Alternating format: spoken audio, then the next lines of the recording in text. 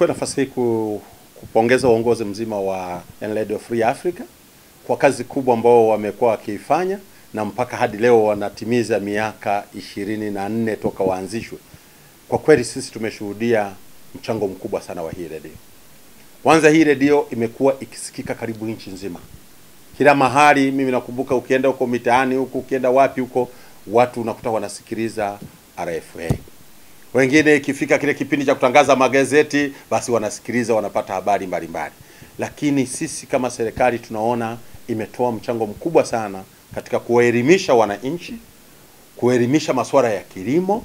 Nimeona mchango wao kwenye swala la pamba kule kanda ya Ziwa, nimeona mchango wao kwenye masuala ya korosho, tumeona mchango wao kwenye masuala ya, ya, ya, ya tumbaku, kahawa na mazao mengine ya chakula. Wametoa mchango mkubwa sana katika kutoa elimu ya kuwaelimisha wananchi. Uh, kwanza niseme hongera nyingi kwa Radio Free Africa RFA, radio ambayo kwangu mimi binafsi kama Barwan Muhuza, Radio Free Africa naichukulia kama mama mlezi ama mama mzazi hivi niseme, kwa sababu sina jeuri yoyote mbele ya redio hii, na kwa kweli ndio ilionitoa. Nilianza na Radio Tanzania, lakini nikajiunga na Radio Free Africa mwaka elfu mbili na tatu. Nikakaa pale mfululizo mpaka elfu mbili na nane.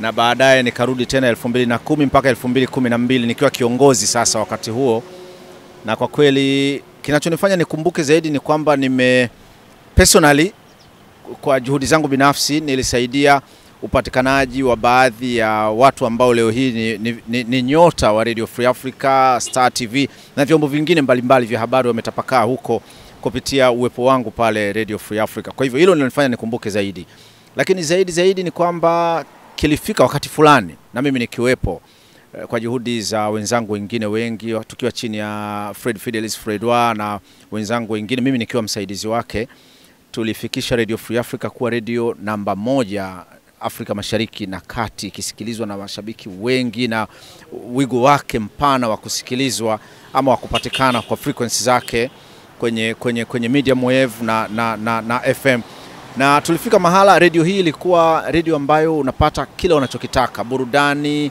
michezo na hata habari. Tulikuwa tumesheheni kwelikweli majina makubwa wakati huo, na sasa wengi wetu tuko kwenye vyombo mbalimbali. Kwa hiyo maarifa mengi na ujanja mwingi ambao leo hii watu wakinitazama, uh, kwa kweli mimi nasema ni sosi yake ama chanzo zaidi ni Radio Free Africa. Kwa hivyo sisemi mengi, niseme tu kwamba nafurahi kuona bado ipo inaendelea vizuri, na Mwenyezi Mungu aijalie iendelee zaidi ya hapa.